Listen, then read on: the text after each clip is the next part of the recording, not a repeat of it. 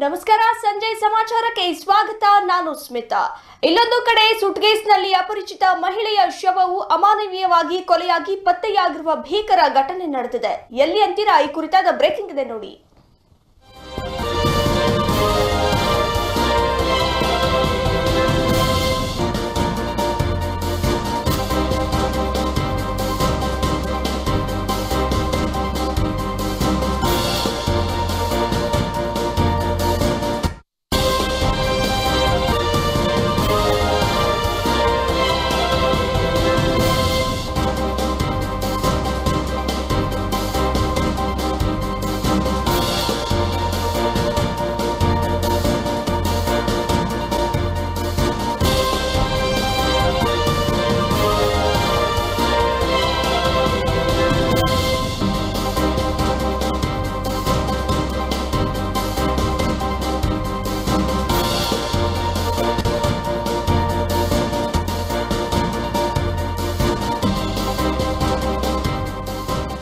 ಸುಟ್ಕೇಸ್ನಲ್ಲಿ ಅಪರಿಚಿತ ಮಹಿಳೆಯ ಶವ ಪತ್ತೆಯಾಗಿರುವ ಘಟನೆ ಹೊನ್ನೇನಹಳ್ಳಿಯ ಕೆರೆಯಲ್ಲಿ ಪತ್ತೆಯಾದ ಮೃತದೇಹ ಇದು ನೆಲಮಂಗಲ ತಾಲೂಕಿನ ಹೊನ್ನೇನಹಳ್ಳಿ ಗ್ರಾಮದಲ್ಲಿ ಪತ್ತೆಯಾಗಿರುವ ಘಟನೆ ಇದು.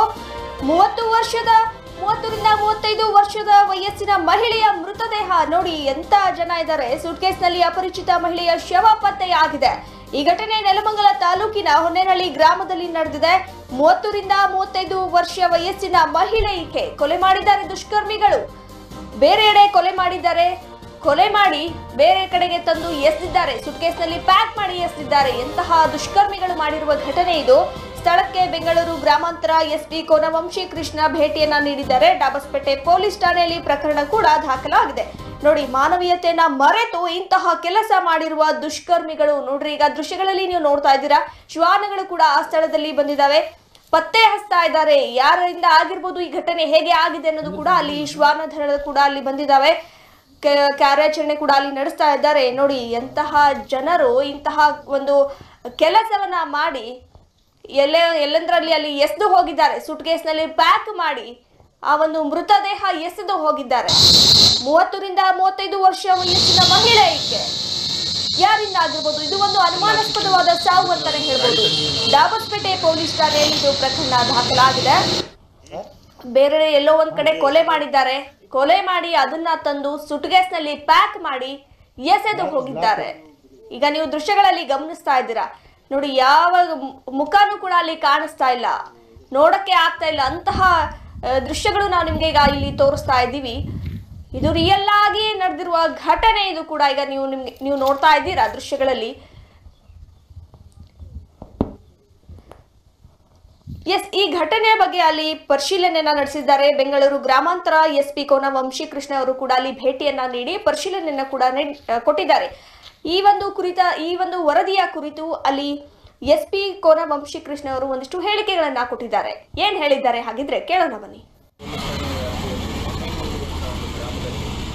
ಒಂದು ಒಳಗಡೆ ಇಂಟೀರಿಯರ್ ಒಂದು ಹಿಲ್ಲಿ ಏರಿಯಾ ಸ್ವಲ್ಪ ನೀರು ಕೂಡ ಸೇರಿತ್ತು ಮಧ್ಯದಲ್ಲಿ ಚೆಕ್ ಡ್ಯಾಮ್ ಥರ ಅದರಲ್ಲಿ ಒಂದು ಟ್ರಾಲಿ ಬ್ಯಾಗ್ ಲಗೇಜ್ ಬ್ಯಾಗ್ ಒಂದು I think ten to eleven K G ಅದರಲ್ಲಿ ಒಬ್ಬ ಮಹಿಳೆಯ ಬಾಡಿ ಪತ್ತೆ ಇದೆ.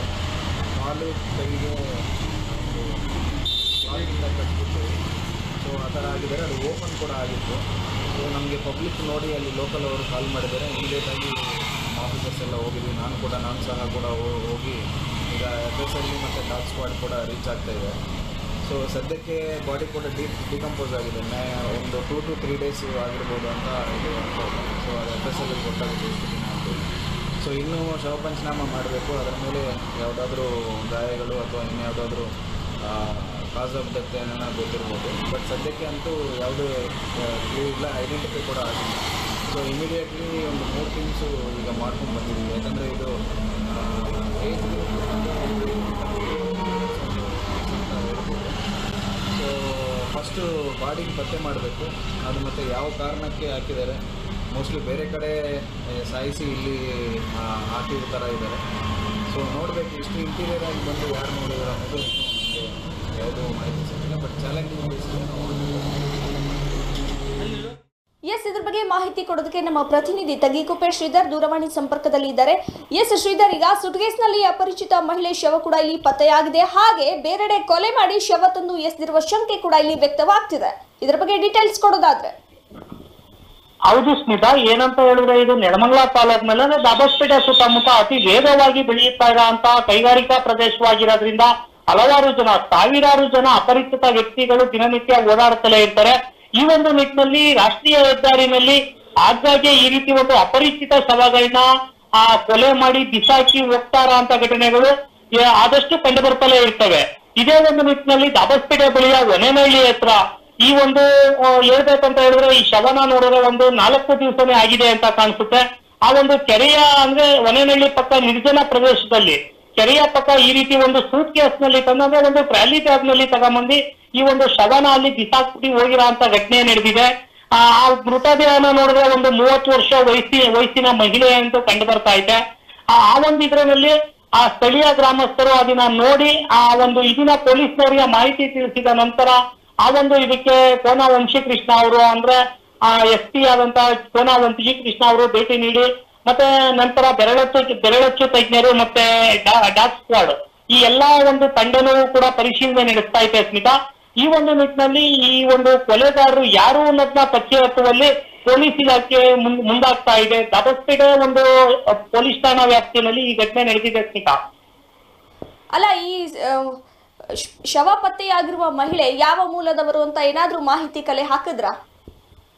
ಇಲ್ಲ ಸ್ಮಿತಾ, ಏನಂತ ಹೇಳಿದ್ರೆ ಆ ಶವನ ನೋಡ್ತಾ ಇದ್ರೆ ಆ ಒಂದು ಕೊಳೆತ ಪರಿಸ್ಥಿತಿ, ಅಂದ್ರೆ ಆ ಗುರ್, ಗುರುತು ಗುರುತು ಕಂಡಿಡಿದಲು ಆಗದಂತ ಪರಿಸ್ಥಿತಿ ಇರೋದ್ರಿಂದ ಸದ್ಯಕ್ಕೆ ಯಾವ ಮೂಲ ಅಂತ ಕಂಡಿಡಿಯೋದು ಬಹಳ ಕಷ್ಟ ಆಗ್ತಾ ಇದೆ. ಆ ಆ ಒಂದು ತನಿಖೆನ ಕೈಗೆತ್ಕೊಂಡಿದ್ದಾರೆ ಸ್ಮಿತಾ. ಆ ಒಂದು ನಿಟ್ಟಿನಲ್ಲಿ ಇನ್ನೂ ಗುರುತು ವಿಳಾಸ ಯಾವುದು ಪತ್ತೆ ಆಗಿಲ್ಲ ಸ್ಮಿತಾ. ಓಕೆ ಶ್ರೀಧರ್, ತಮ್ಮ ಮಾಹಿತಿಗೆ ಧನ್ಯವಾದಗಳು. ಎಸ್, ನೋಡಿ ಈಗ ನೋಡ್ತಾ ಇದ್ದೀರಾ, ದೃಶ್ಯಗಳಲ್ಲಿ ನೀವು ಗಮನಿಸ್ತಾ ಇದ್ದೀರಾ, ಅಲ್ಲಿ ಶ್ವಾನಗಳು ಕೂಡ ಆ ಜಾಗಕ್ಕೆ ಬಂದಿದ್ದಾವೆ. ಇನ್ನು ತನಿಖೆ ನಡೀತಾ ಇದೆ. ಪೊಲೀಸರಿಂದ ಏನೆಲ್ಲ ಮಾಹಿತಿ ಬರುತ್ತೆ, ಯಾರು ಮಾಡಿರಬಹುದು ಇದು ಯಾವ ಮೂಲದವರು ಕೂಡ. ಇನ್ನು ಒಂದಿಷ್ಟು ಮಾಹಿತಿಗಳಿಂದ ತನಿಖೆ ನಡೀತಾ ಇದ್ದಾವೆ.